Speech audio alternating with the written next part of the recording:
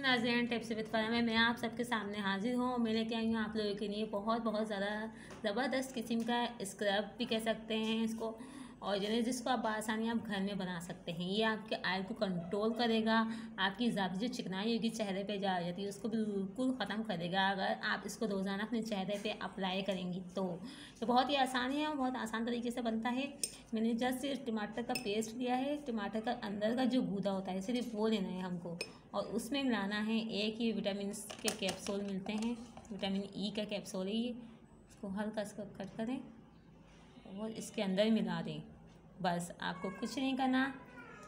इसको अच्छी तरह मिक्स करेंगे हम और अपने चेहरे पे अप्लाई कर लेंगे कॉटन से।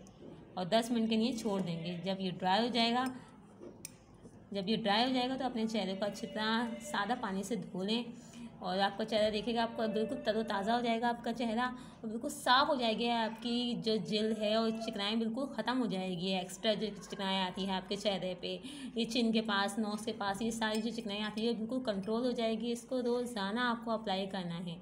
आप देखिए कि कितना फ़र्क पड़ेगा आपके चेहरे पर मेरी वीडियो पसंद आई होगी तो इसको सब्सक्राइब करें लाइक करें एंड शेयर करें ज़्यादा से ज़्यादा। अल्लाह हाफिज़।